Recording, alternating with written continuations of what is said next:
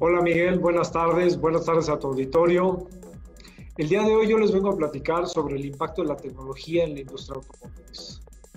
Sin duda, uno de los puntos cruciales o medulares de la transformación y el futuro de la industria automotriz será la tecnología. Y para esto les quiero poner tres ejemplos en particular. Desde el punto de vista del distribuidor o retailer, como se conoce. La tecnología juega un rol fundamental en el cual hoy para la venta y entrega de automóviles es necesario crear una experiencia a través de medios digitales y conectar realmente con el cliente.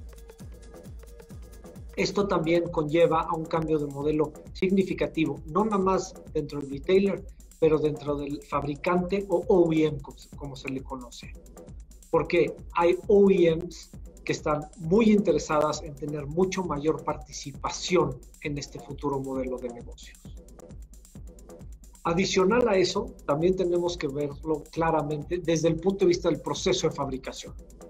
La fabricación como tal, más que nunca es necesario estar y tener la seguridad del control de inventarios, de mantenimientos programados, pero ya no nada más a nivel de la armadora como tal, el modelo que se viene utilizando hace mucho tiempo, sino tener el network con toda la base de proveedores para poder realmente reaccionar ante las necesidades del mercado.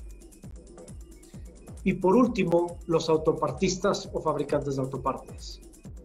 Ellos, su modelo va a ser fuertemente impactado, ya que con esta información, más que nunca, van a tener que ser ágiles y resilientes para poder realmente cumplir las demandas de los fabricantes.